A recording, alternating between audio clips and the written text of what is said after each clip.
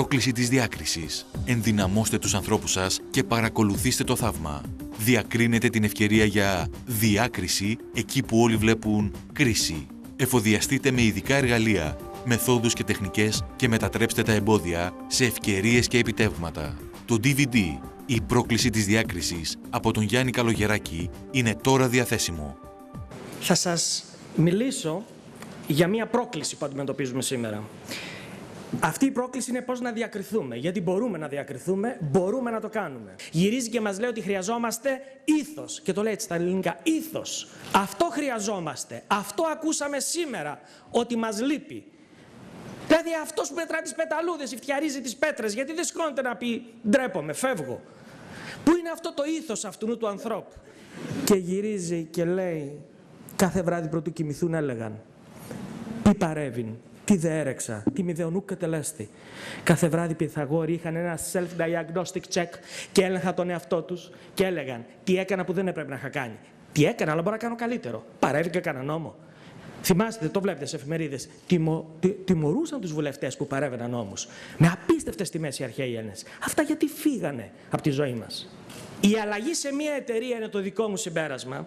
Δεν γίνεται πλέον να προσλάβουμε έναν θεόσταλτο, ένα μεσία, ένα σωτήρα. Χρειάζεται όλοι οι εργαζόμενοι να αντιληφθούν κάποια πράγματα. Ο καθένας δεν θα δουλεύει όταν είναι ο μπαμπούλας, θα δουλεύει από μόνος του. Να ξυπνήσει αυτό που είπα πριν φιλότιμο. Που κάποια κυρία το ξύπνησε σε κάποιον και εγώ από τότε το λέω σε όλα μου τα σεμινάρια. Να ξυπνήσουμε κάτι και να συσπηρωθούμε, να μάθουμε να δουλεύουμε ομαδικά.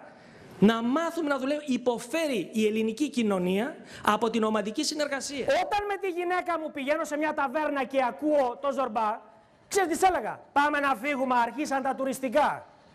Γιατί δεν είχα καταλάβει τι είχε γράψει ο Νίκος Κατζατζάκης. Δεν είχα καταλάβει τι είχε μελοποιήσει ο Μίκης Θεοδωράκης. Δεν είχα καταλάβει ότι μίλαγε για τη φλόγα και το DNA του Έλληνα. Που σε όλο τον κόσμο θριαμβεύει. Που φεύγει από την Ήπειρο και κάνει την Μπούλγαρη. Που φεύγει και πάει στην Αμερική και βγάζει το Blackberry από αυτούς τους Έλληνες που είμαστε κομμάτι αυτής της Ελλάδος και εμείς. Δεν είχα καταλάβει τι περιέγραφε. Και μετά από χρόνια που ξαναδιάβασα και μου το θύμισαν κάποιοι, το νιώσα και το κατάλαβα. Όταν είχα πιάσει πάτο, κατάλαβα τι είναι αυτό. Κατάλαβα τι είναι η φλόγα μέσα μας. Γιατί τη νιώθω κι εγώ. Τη νιώθω καθημερινά όταν εκπαιδεύω στελέχη και τα βλέπω να είναι ψυχοπλακωμένα.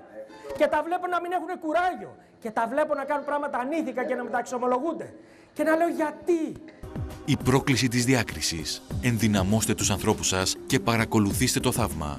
Διακρίνετε την ευκαιρία για διάκριση εκεί που όλοι βλέπουν κρίση.